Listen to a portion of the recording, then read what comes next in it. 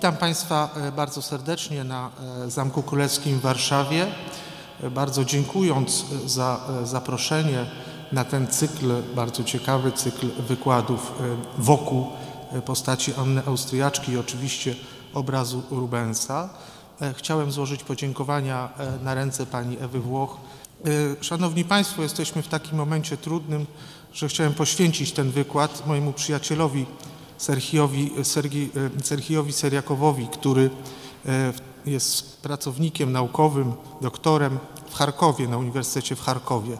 W tych dniach, kiedy e, ta opresja rosyjska, ten najazd po prostu bombarduje to miasto, w tym niestety domy naszych przyjaciół.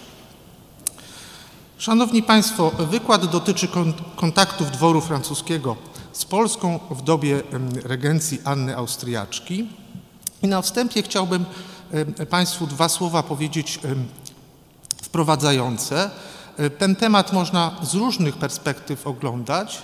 Ja wybrałem taką perspektywę mniej obecną. Zazwyczaj mówi się bardzo dużo o kontaktach dyplomatycznych, o kontaktach e, kulturalnych.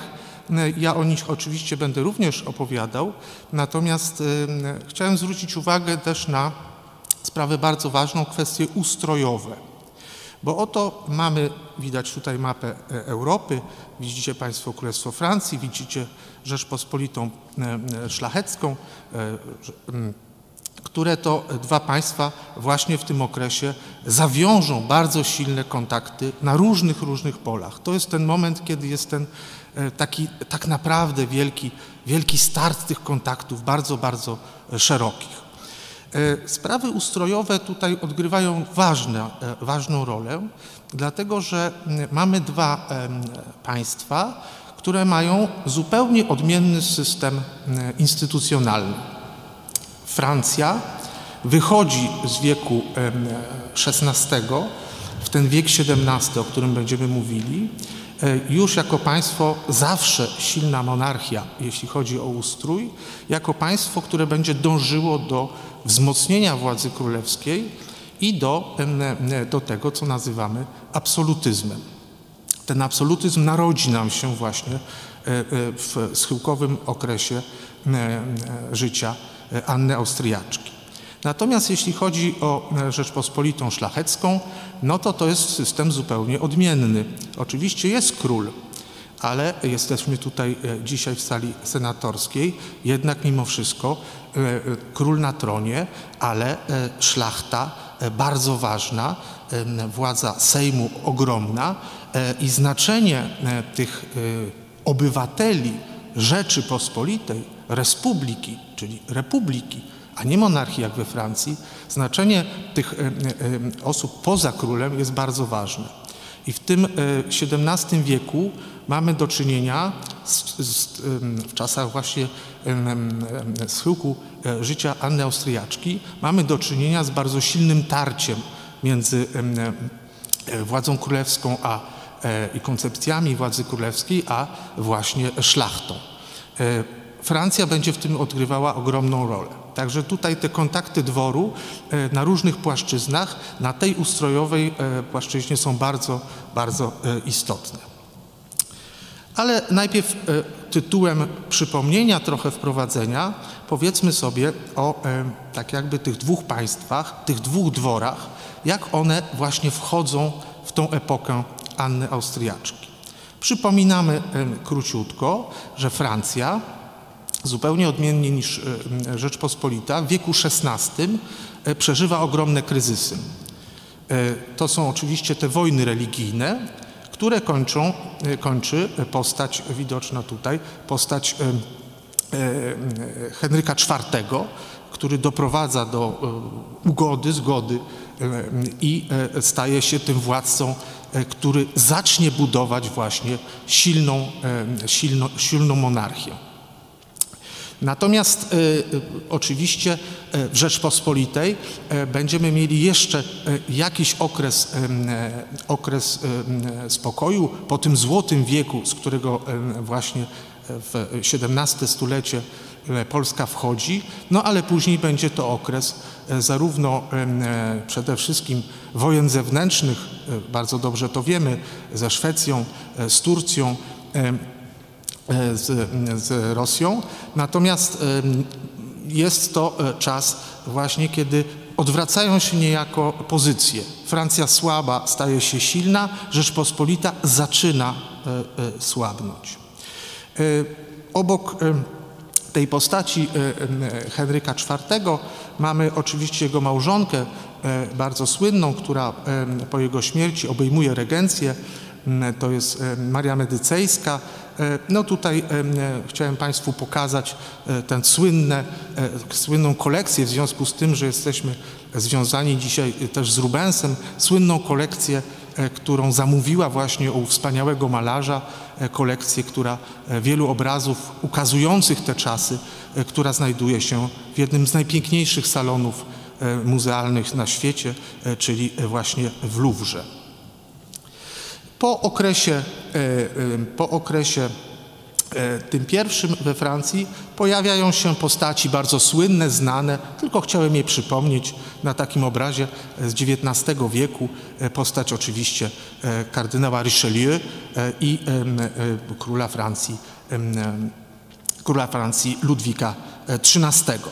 Te sprawy są znane powszechnie, nawet z literatury pięknej, wspaniałej, także tutaj o nich nie będę mówił, ale warto powiedzieć, że kardynał Richelieu tutaj, jeśli chodzi o sprawy polskie, no on będzie, jak Państwo za chwilę zobaczycie, będzie odgrywał już ważną rolę. Te kontakty będą coraz silniejsze, one będą tak w ciągu XVII wieku bardzo narastać i kardynał Richelieu odegra taką rolę silnego również, silnej postaci w, w, tym, w, tych, w tej polityce w polityce zagranicznej, europejskiej różnych państw, między innymi również Rzeczypospolitej.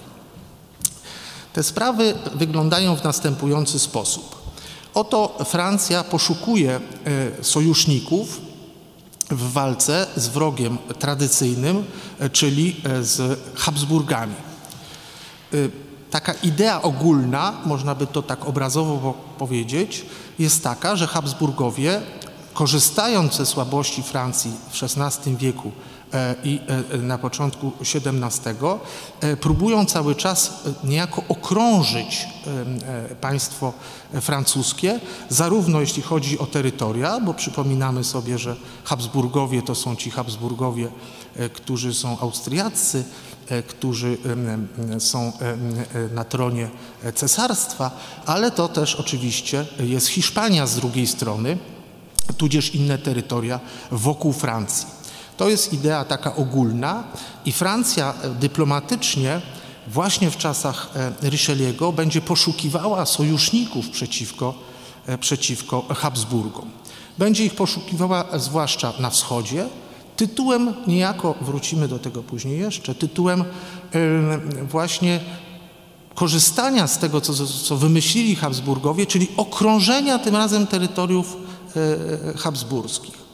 No i takim pierwszym sojusznikiem już od, już od początku XVI wieku, czyli od ponad 100 lat, jest Turcja. To jest taki sojusznik Francji odwieczny.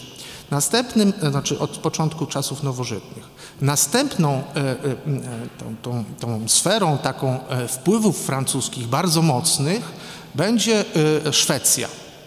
I Szwecja w, na początku wieku XVII bardzo bliskie nawiązuje kontakty z, z, Francją, również dyplomatyczne i staje się powoli tym sojusznikiem Francji. Z jednej strony mamy Turcję, z drugiej strony mamy Szwecję, pozostaje pośrodku między dwoma państwami Rzeczpospolita. I idea jest taka, żeby Rzeczpospolita, jeśli nie może być sojusznikiem, bo przypominamy sobie, że właśnie jest Sejm, każda sprawa jest wojenna oddzielnie debatowana, jest przedmiotem sporów politycznych, no a też szlachta polska ma w, swoich, w swojej mentalności bardzo silnie zakorzeniony zakorzenioną ideę pacyfizmu, nie jest chętna do walki i wojen, więc chodzi o to, żeby właśnie była neutralna i żeby odsunąć ją, odciągnąć ją od Habsburgów. Żeby po prostu wpływy francuskie w tym, w, tej, w tym ogromnym państwie między Szwecją a Turcją były jak najsilniejsze, jak najmocniejsze. Dlatego, że mm, jest sytuacja dość dla Francji nieciekawa, w tym sensie prostym, że Rzeczpospolita jest dynastycznie a przez to i politycznie, e, i e, dyplomatycznie, e, i kulturowo też związana bardzo mocno z Habsburgami przez mariaże. One również już mają swoją dziesięcio, wie, wie, przez wiele dziesięcioleci swoją tradycję. Tutaj znamy z początku jeszcze XVI wieku słynne mariaże między Habsburgami a Jagiellonami. One później są kontynuowane i chodzi o to, żeby te, ten taki dynastyczny, ale za tym idzie polityczny, e, kulturowy, kulturowy e, związek e, Rzeczpospolitej z Habsburgami złamać. I to się o tyle udaje, że po konfliktach, sporach i takiej niechęci mocnej szlachty polskiej E, króla do Szwedów. Jest to związane też ze sprawami dynastycznymi i sukcesją w Szwecji, bo e, Wazowie e, zasiadający na tronie tutaj w Warszawie mają tak jakby pretensje o tron szwedzki i po prostu o ten tron ze Szwedami, z tamtejszymi władcami walczą. E, ta walka dzięki mediacjom francuskim między innymi e, zostaje tak jakby uśnieżona przez to, że, e, przez to, że po prostu zostaje pokój zawarty. Tutaj widać na tej górnej ilustracji pokój zawarty w sztumskiej wsi, gdzie po prostu następuje uspokojenie tych relacji silnych i Francja odgrywa tutaj wielką rolę. E, są zabiegi bardzo mocne o to, żeby, żeby po prostu Polska tak jakby zechciała przejść na tą stronę francuską już w sposób taki zasadniczy. Sytuacja na tronie polskim w rodzie Wazów wydaje się temu sprzyjać. Dyplomacja francuska zaczyna coraz mocniej działać. E, no i e, jest e, taka kwestia, że oto jest ogromna nadzieja, że zostanie zawarty związek małżeński właśnie króla Władysława IV z osobą, damą, która byłaby tak jakby tutaj związana z Francją, a nie z Habsburgami. Wydaje się, że to wszystko doprowadzi do dobrego końca, a tu nagle e, król Władysław IV zaczyna się wycofywać i dość mocny sposób pokazuje e, tak jakby ten odwrót e, od, od Francji przez mariaż z Cecylią Renatą, czyli znowu Habsbur Habsburżanka. To jest takie złamanie pewnych nadziei francuskich, daleko posuniętych rozmów między oboma dworami, E, i e, po prostu Francja zaczyna na to reagować mocno. E, Richelieu jest bardzo niezadowolony i korzysta z pewnej okazji. Tam jest oczywiście cały szereg różnych spraw, które się dzieją, ale ta jest taka dość, dość specyficzna. Oto bowiem brat Władysława IV, Jan Kazimierz, udaje się na zachód Europy, do Portugalii, e, drogą morską, e, żeby tam starać się o, e, o zaszczyty właśnie te związane z, z Królestwem Portugalii. I przepływając przez wody te francuskie, zostaje ten królewicz zaaresztowany, zostaje zamknięty w twierdzach po kolei różnych i przez dłuższy czas jest po prostu nie mniej, ni więcej, tylko więziony we Francji. Jan Kazimierz, przyszły król.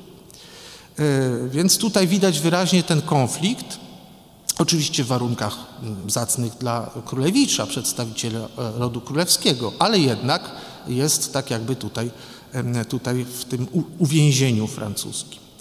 E, szlachta polska e, jest z tego powodu bardzo niezadowolona. Oczywiście narasta ten, ten konflikt. Dwór to już nie mówię. Konflikt między oboma dworami jest rzeczywiście w tym momencie dość silny. No i jest oczywiście oburzenie Polaków na to, że, że właśnie w ten sposób Francuzi postąpili. Mamy tutaj taki fragment listu arcybiskupa gnieźnieńskiego, Jana Lipskiego, właśnie do przedstawicieli dworu e, francuskiego, który e, tak to ujmuje. Oto my, którzy Francję, jakby duszą i uczuciem rodzoną siostrę nad inne narody uwielbiali, zmuszeni jesteśmy obecnie potępić w nas tak zapędną czułość. Oto my, książęcia francuskiego, czyli Henryka Walezego, na, tron polskim, na tronie polskim posadziliśmy, a wy, Francuzi, naszego w więzieniu. Myśmy waszego królem uczynili, a wy naszego niewolnikiem. Konflikt jest tak jakby tutaj wyraźny i sytuacja bardzo nieciekawa. Y, można tylko powiedzieć, że z perspektywy późniejszych lat y, y, jedna rzecz się staje dobra, mianowicie ten nasz królewicz Jan Kazimierz poprzez zabiegi, bo on jest w więzieniu, ale są zabiegi dyplomatyczne wokół jego osoby i bardzo starają się, tutaj dwór francuski stara się, aby on po prostu cały czas nieżonaty pojął za żonę jakąś właśnie wysoko stojącą przedstawicielskę właśnie tutaj z rodu, z rodu książąt francuskich. I tam poznaje właśnie przyszłą królową Polski, Ludwikę Marię Gonzagę. Jak się mówi, ta znajomość jest taka niebanalna. Oboje są tutaj do siebie bardzo, bardzo przychylnie, a nawet więcej niż przychylnie nastawieni. Jest tam jakaś historia takiej wczesnej miłości właśnie do, do tej swojej przyszłej, przyszłej żony.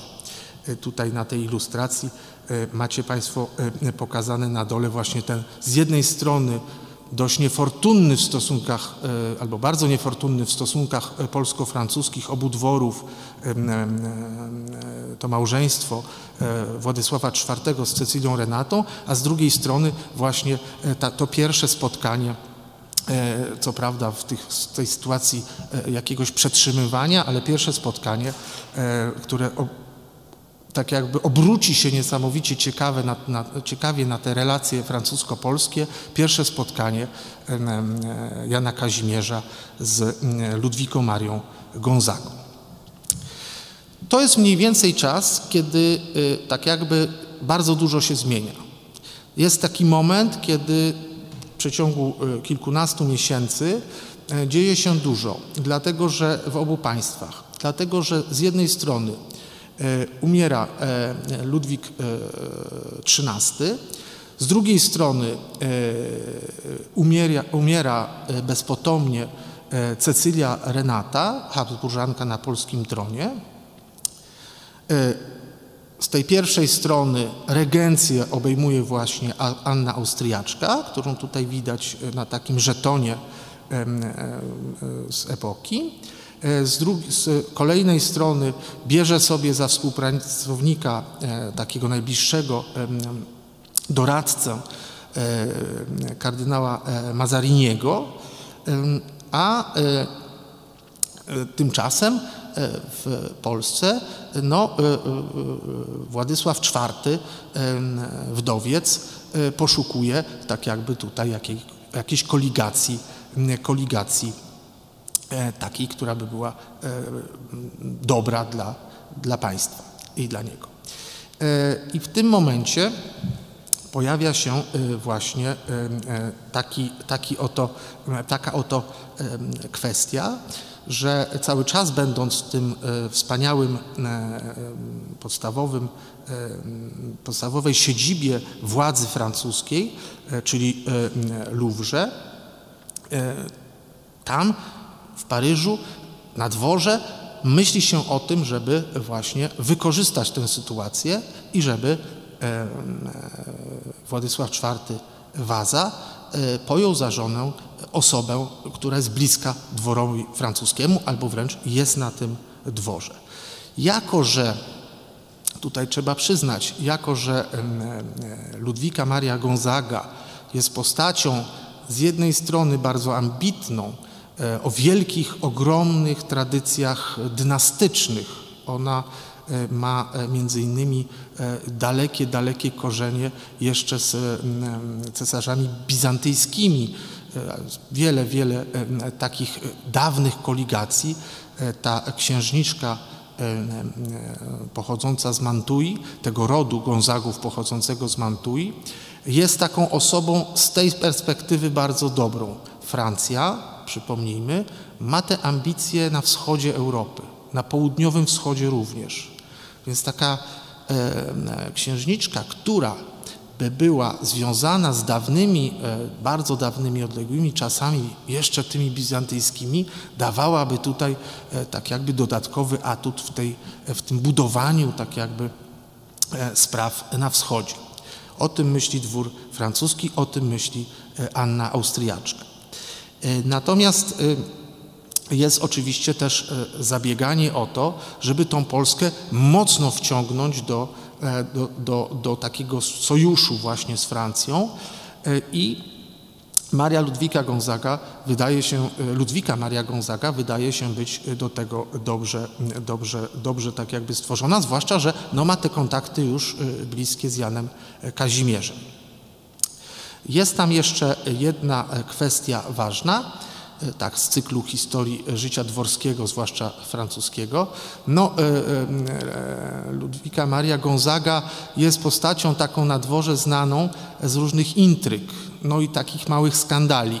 Więc z jednej strony warto by ją tam e, do tej Rzeczpospolitej posłać, tak myśli się na dworze, tak myśli e, Anna Austriaczka e, Mazarini, żeby posłać ją do Polski, bo tam może odegrać dużą rolę, a z drugiej strony można by się jej trochę pozbyć z tego dworu, bo za dużo tam intryguje, między innymi przeciwko właśnie tej sławetnej, sławetnej przeciwko temu sławetnemu tandemowi Anna Austriaczka Mazarini. Szanowni Państwo, y, powiedzmy sobie dwa słowa, co się dzieje na samym dworze e, wersalskim, bo, e, przepraszam, w dworze francuskim, dlatego że e, w tym czasie, kiedy obejmuje regencję Anna Austriaczka, władcą oczywiście w momencie śmierci Ludwika XIII został młody młode dziecko, małe dziecko, bo to pięcioletni chłopiec jest Ludwik XIV. Tutaj e, wspomnimy o tym, że e, tą siedzibą taką główną Anny Austriaczki we Francji nie był Louvre czy Paryż, tylko przede wszystkim od pewnego momentu piękne zamczysko nieodległe od, od Paryża, e, które się nazywa Saint-Germain-en-Laye. Tam przyszedł na świat Ludwik XIV, przyszły król e, Słońce e, i tak jakby tutaj ta postać zaczyna powolutku odgrywać swoją rolę. Mamy Tymczasem, zanim jeszcze zaczną się dziać e, we Francji złe rzeczy, zaraz o nich, mamy tymczasem e, doprowadzoną do e, sukcesem sprawę właśnie poślubienia Ludwiki Marii Gonzagi z Władysławem IV. Dama ma 34 lata, słynie z piękności, no jest niesamowicie inteligentna, jest bardzo osobą o niesamowitej kulturze, osobą, która bywała na dworze, odgrywała dworze francuskim, odgrywała w nim bardzo znaczną rolę, dlatego to jest postać taka niezwykle interesująca, która od tego momentu zmieni swoje imię, dlatego że Ludwika, Maria Ludwika Gonzaga nie może zostać pod takim imieniem królową Polski, dlatego że królową Polski o imieniu Maria jest tylko jedna taka królowa, to jest Matka Boska, królowa Polski. Dlatego imię zmieni Ludwika Maria Gonzaga i będzie w Polsce znana jako Maria Ludwika Gonzaga, przepraszam, Maria Ludwika, jeszcze raz. Dlatego, dlatego Ludwi, Maria Ludwika, przepraszam, Gonzaga zmieni imię na Ludwika Maria Gonzaga. Macie Państwo tutaj taki szkic, szkic właśnie tego małżeństwa nowo zawartego między Ludwiką Marią Gonzagą a, a Władysławem IV. Ludwika Maria Gonzaga to jest postać, jak przed chwilą powiedziałem, zupełnie niesamowita, jeśli chodzi o, i to mnie tutaj nas najbardziej może będzie interesować, to jest postać niesamowicie interesująca, jeśli chodzi o jej tą wiedzę, znajomości w świecie nie tylko polityki, ale również oczywiście kultury. Jest niesamowicie wykształcona, ma, te świetne, ma to świetne otoczenie swojego dworu, składające się z wielu, wielu wybitnych postaci i to po prostu stanie się tym momentem według mnie przełomowym, jeśli chodzi o te kontakty i zarówno dworu francuskiego z dworem polskim, jak i po prostu to, co jest, jest takim, no to jest taka rewolucja, taki wybuch wręcz tej kultury francuskiej w Polsce. Na tej ilustracji widzimy wyraźnie przybycie właśnie całego orszaku Ludwiki Marii Gonzagi do, do Gdańska. To jest ten wjazd królowej do Polski. Ten orszak jest z jednej strony taką manifestacją, jak to zwykle w tamtych czasach, manifestacją wielkości, potęgi królestwa, tym razem Francji, ale również w tym orszaku jest ogromna ilość, bardzo dużo osób, które będą odgrywały znaczącą rolę w rozwoju kultury francuskiej w Polsce, w rozwoju, będą wpływały na politykę Rzeczpospolitej, będą miały wjazd do Gdańska. Pamiętajmy, że to jest ten moment, gdzie właśnie te związki Polski z Francją są niesamowicie silne właśnie poprzez Gdańsk, przez handel zbożem, przez tą historię, którą znamy pod hasłem Rzeczpospolita jako spichlerz Europy. Tutaj te związki gospodarcze też nie wolno o nich zapomnieć. Także tutaj to przybycie z dworu francuskiego na dwór polski, tej francuski, jest, jest rzeczywiście tym momentem niezwykle ważnym. No to jest ogromny sukces właśnie, tak jakby tutaj na wschodzie, sukces Anny Austriaczki i, i Mazariniego.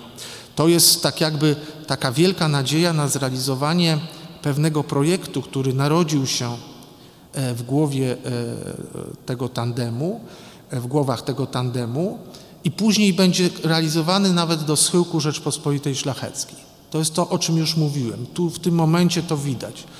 Chodzi o to, żeby stworzyć coś, co się, się będzie nazywać barierą wschodnią, czyli odciąć Habsburgów, znaczy otoczyć Habsburgów z drugiej strony. Z jednej strony Francja, a z drugiej strony właśnie ta bariera wschodnia, Szwecja, Rzeczpospolita, tam jeszcze jest Księstwo Siedmiogrodu i Turcja. W ten sposób tak jakby Francja mogłaby tą, tą, tą polityką europejską sterować. W XVIII wieku, tylko napomknę, ta idea będzie niezwykle ważna i realizowana nawet mocno, ta bariera wschodnia stanie się barierą przeciwko ekspansji rosyjskiej, prawda? Przede wszystkim. E, tudzież pruskiej. Także tutaj to jest zaczątek bardzo ważnych spraw dyplomatycznych i takich geopolitycznych na skalę europejską obu tych dworów, polskiego i francuskiego, w porozumieniu ze Szwecją i z Turcją, no i z Siedmiogrodem. Wszystko dobrze. Wydaje się, że jest, jest, jest tak jakby na tej linii polsko-francuskiej już duże sukcesy są, ale we Francji zaczynają się problemy i to potężne.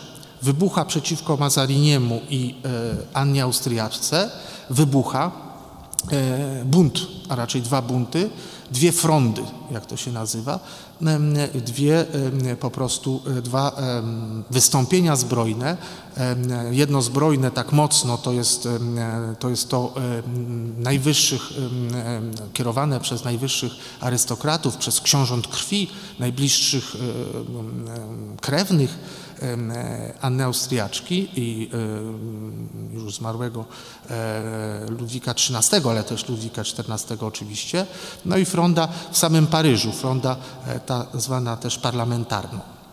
To jest taki moment, gdzie po prostu Francja znowu wraca do pewnego kryzysu, które, z którego wydawała się, że wyszła już na początku tego stulecia. Te walki trwają i tutaj no, nie będziemy oczywiście o nich mówić, ale państwo przeżywa kryzys i ten dwór, który nas tutaj interesuje, dwór Anny Austriaczki, przeżywa taki, chciałem Państwu to powiedzieć, taki też, tak jakby każdy z członków dworu przeżywa osobisty kryzys też. To jest wojna wewnętrzna. Wojna, która dwa tak jakby obozy, czy nawet czasami trzy, po prostu ze sobą się ścierają i z tego się narodzi pewien pałac, który jest bardzo słynny, to jest Wersal. Mianowicie na koniec jeszcze przypomnę, ale to jest tak, że dwór królewski musi uciekać z tego pięknego Luwru, musi uciekać z Paryża i chronić się w różnych zamkach, pałacach, ścigany niejako przez tych frondystów. Najkrócej rzecz biorąc, każdy chce mieć po prostu króla, to króla dziecko, pod swoją opieką i wpływać na niego. Z jednej strony Mazarini i, jego, i matka Ludwika XIV, czyli Anna Austriaczka, z drugiej strony Paryż chce go też wziąć swoje, tak jakby w swoje trochę szpony i spowodować, żeby władza królewska była słabsza, a, a, a, a tak jakby silny był Paryż i, i tutaj ludzie z najwyższych sfer paryskich, no i z trzeciej strony są ci książęta krwi, którzy są no tutaj strasznie, strasznie niechętni Mazariniemu, wpływom Mazarini, wpływy tutaj tak jakby nie, włoskie. To jest wszystko wielka, tak jakby skomplikowana wojna domowa we Francji. Tutaj pamiętajmy o tym, że to się dzieje. Natomiast w Polsce tymczasem ta, ta to ziarenko zasiane przez dwór francuski w postaci przyjazdu Ludwiki Marii do, do, do, do, do Rzeczpospolitej, ono zaczyna bardzo ciekawie kiełkować. Będę mówił mniej o sprawach politycznych, o nich tylko napomknę, ale z kolei no, niesamowicie ciekawe są te, te wpływy francuskie w Polsce, jeśli chodzi o kulturę. To jest moment, kiedy pojawia się tak jakby tutaj z całą siłą się rozwinie niesamowicie. Oczywiście znajomość francuskiego języka. To będzie czas, kiedy będą, zaczną być masowo tłumaczone teksty oczywiście francuskie, które wejdą do literatury nie tylko jako, jako te teksty tylko przekład z oryginału, ale też będą wpływać na polską literaturę bardzo mocno. To jest bardzo, bardzo taki żywy, żywy obraz tego, w jaki sposób przez pośrednictwo Ludwiki Marii Gonzagi dwór francuski i kultura francuska przenikła do, do, do Rzeczpospolitej i będzie się teraz tylko rozwijać. Muszę tutaj wspomnieć Państwu o fundamentalnej książce, która omawia te sprawy, pani profesor Karoliny Targosz, niedawno wydana pięknie przez, przez Pałac w Wilanowie, Uczony dwór Ludwiki Marii Gonzagi. Bo to też jest nie tylko kultura, język i, czy literatura, to również jest dwór uczony w tym sensie, że tam są prawdziwi tak jakby przedstawiciele wysokiej, wysokiej rangi z różnych dziedzin nauki. Są i kontakty z astronomami, są kontakty z filozofami, są kontakty z kartografami, z różnymi tak jakby tutaj przedstawicielami nauk i sztuk i rzemiosł. Także to jest bardzo, bardzo ciekawy właśnie ten kontakt przez pośrednictwo obu dworów. Jest taka postać, doradca, sekretarz, też człowiek niezwykle, niezwykle światły, który miał ogromny wpływ na politykę polską, ale również na, na, na tą kulturę, na, na gospodarkę. To jest Pierre de Noyer którego można przeczytać całą relację z, z, tych, z, tej, z, tego pobytu w Polsce, z tych wpływów, które właśnie Francuzi mieli w Rzeczpospolitej. Także to też jako źródło z kolei historyczne polecam Państwu do lektury. Wśród tych różnych postaci, mógłbym mówić o różnych dziedzinach, ale wybrałem, no tak to się zdarzyło w tych dniach, wybrałem postać jedną. To jest Guillaume Levasseur de Beauplan.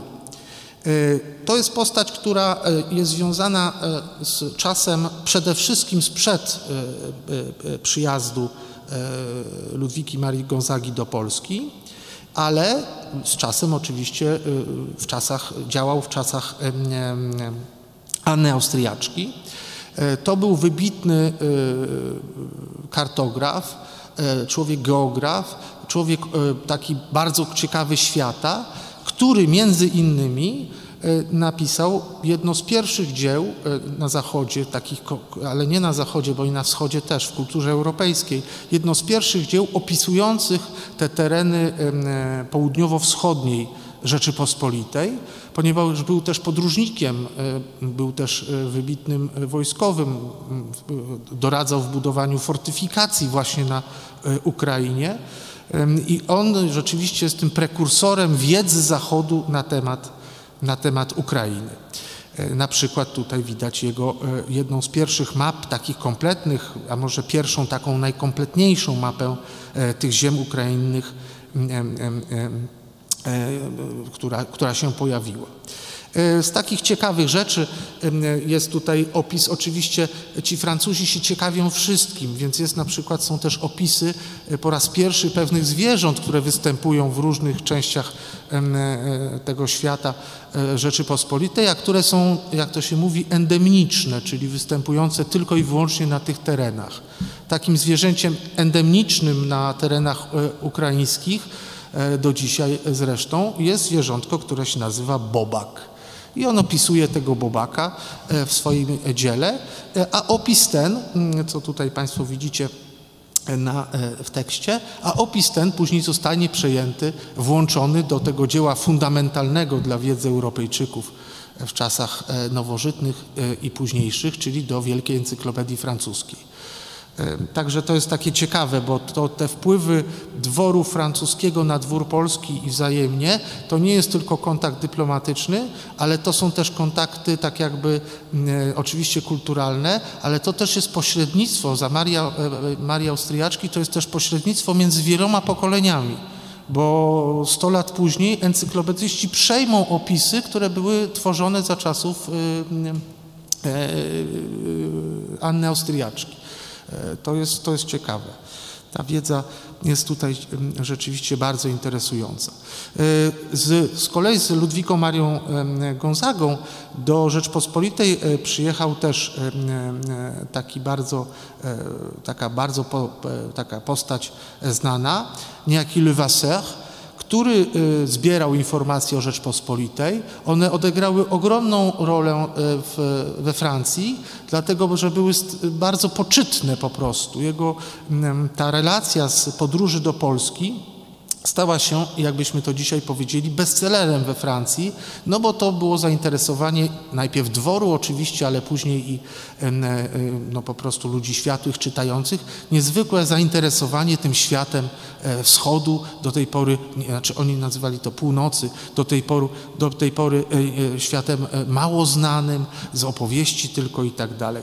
Także macie Państwo na przykład tutaj w tej relacji E, Levassera, ale też innych podróżników z tamtych czasów, bo to już jest taki napływ i te kontakty są już naprawdę silne.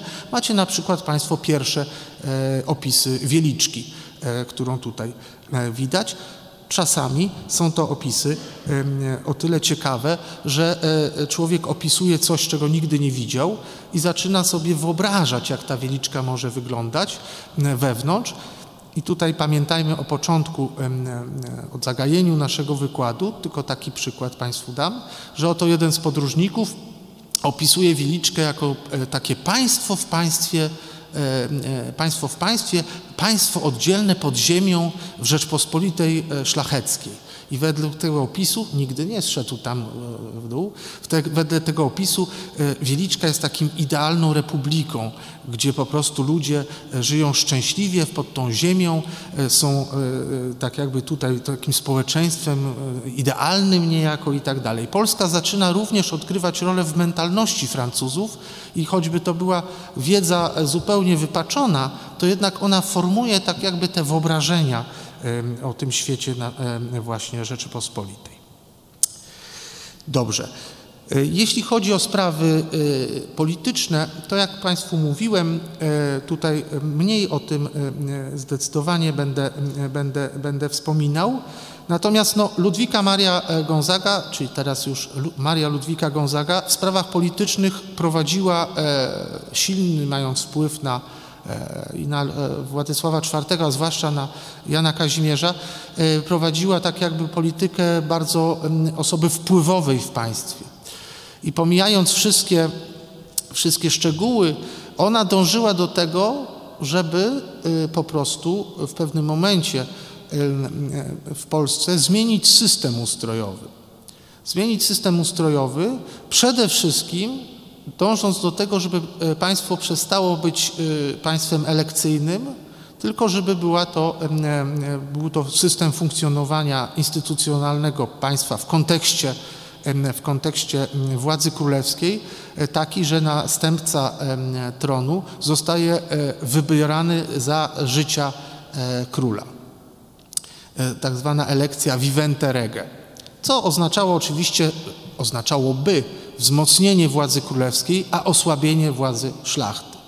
Z tego powodu szlachta polska była jej coraz bardziej niechętna, coraz mocniej i coraz mocniej, e, aż doprowadziło to do konfliktu między szlachtą a królem, który to Rokosz e, tak jakby ujawnił bardzo mocno, że, e, czy potwierdził, że Rzeczpospolita nie ma zamiaru iść drogą Francji, tylko z mocnym dworem i przede wszystkim mocnym monarchą, tylko zamierza e, tak jakby przy swoich e, prawach e, tych republikańskich, ale i monarchicznych pozostać. Ta część społeczności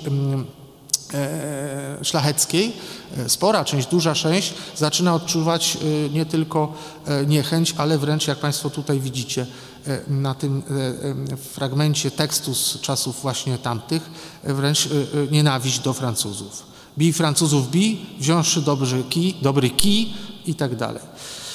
Także tutaj mamy te, Ludwika Maria Gonzaga próbuje realizować w Polsce te ambicje dworu francuskiego, ale ona do tego tak jakby nie doprowadzi i, i tak jakby tutaj no, Polska nie stanie się monarchią silną, dążącą do konsolidacji władzy królewskiej, E, tylko pozostanie Rzeczpospolitą Szlachecką, co z punktu widzenia Francji jest e, no, o wiele mniej ciekawe, bo trzeba zabiegać o różne stronnictwa szlacheckie e, w Polsce, o różnych magnatów i tak dalej, a nie tylko wystarczy mieć dobry kontakt z monarchą, z królem silnym. Co się dzieje tymczasem we Francji? No we Francji dorasta nam nasz król Słońce, E, jest, e, jak widzicie Państwo, to jest młodzieniec jeszcze, jeszcze królem słońca nie jest, ale jest człowiekiem niezwykle inteligentnym, e, we wszystkich dziedzinach świetnie wykształconych. Na razie jeszcze to są czasy, kiedy król się bawi, jak to w pewnym filmie, zresztą dobrym, jest pokazane, natomiast on dorasta. E, no oczywiście tutaj e, też nie tylko sprawy intelektualne, ale też miłostki wszystkie e, przeżywa ku smutkowi Anny Austriaczki. Państwo po frondach bardzo mocno się wzmacnia. Te lata schyłkowe 40, lata 50, te lata, kiedy, kiedy, kiedy Anna Austriaczka już tą regentką de facto nie jest, bo, bo król już osiągnął e, pełnoletność, ale tak czy inaczej ma ogromną, ogromny wpływ na, na politykę. E, to są czasy dobre dla Francji. Ona znowu odzyskuje siłę i moc. I macie Państwo e, tutaj takie, taką inną sprawę, tak jakby tutaj chciałem o niej napomknąć. Mianowicie jest też siła bardzo duża gospodarki francuskiej. Na czele tej, tych finansów francuskich stoi niejaki Fouquet. Państwo się rozwija. Fouquet zdobywa niesamowicie silną pozycję w tym państwie, no bo rola Marii e, Austri Anny Austriaczki jest już osłabiona. Król jeszcze nie jest silny. E, Mazarini e, umiera E, i, e, i e, ten Fouquet w tym momencie osiąga tak jakby tutaj coraz, coraz silniejszą rolę, dążąc do tego, żeby tak jakby zająć miejsce dawnej regentki, w sensie nie królewsko, tylko po prostu pozycję w sensie wpływów i tak dalej. Buduje sobie taki wspaniały pałac wedle najnowszych mód wszelkich możliwych, pałac w Vaux-le-Vicomte i zaprasza na E, na, na, e, na inaugurację tego pałacu e, wszystkie możliwe, najwspanialsze postaci życia kulturalnego i przede wszystkim politycznego Francji i między innymi Jesteśmy w 1661 roku i między innymi Ludwika XIV, który do tego momentu E, no, interesował się polityką, był obeznany i tak dalej, ale nie miał tak jakby jeszcze wszystkiego e, absolutnie w rękach, pozostawiał to innym. Ludwik XIV, jesteśmy e, u schyłku życia Anny Austriaczki, Ludwik XIV pojechał, świetnie się bawił przez trzy dni, wrócił z powrotem do Paryża, zaaresztował Fouqueta, odebrał mu wszelkie wpływy, i w 1661 roku zaprowadził rządy osobiste. To jest początek tego, co nazywamy absolutyzmem doby e, e, króla Słońca Ludwika XIV. E, bardzo wielu tych, którzy budowali Vicomte, właśnie tego Fouqueta, zostanie natychmiast zatrudnionych do budowy tego wspaniałego pałacu, którym jest Wersal i który to pałac otwiera. Tak jakby ten moment objęcia rządów osobistych, e, rozpoczęcia absolutyzmu przez, e, we Francji przez Ludwika XIV, on jest zbieżny ze śmiercią Anny Austriaczki, ze zmianą zupełnie sytuacji właśnie we Francji. I ten Wersal jest tak jakby wyjściem ku następnej epoce, ale też podsumowaniem e, poprzedniej, dlatego że jego zalążkiem do dzisiaj widocznym jest stary pałacyk taki do, do polowań e, Ludwika XIII, oczywiście męża Anny Austriaczki. Szanowni Państwo, najuprzejmiej Państwu dziękuję za e, wysłuchanie tego wykładu e, i kłaniam się nisko.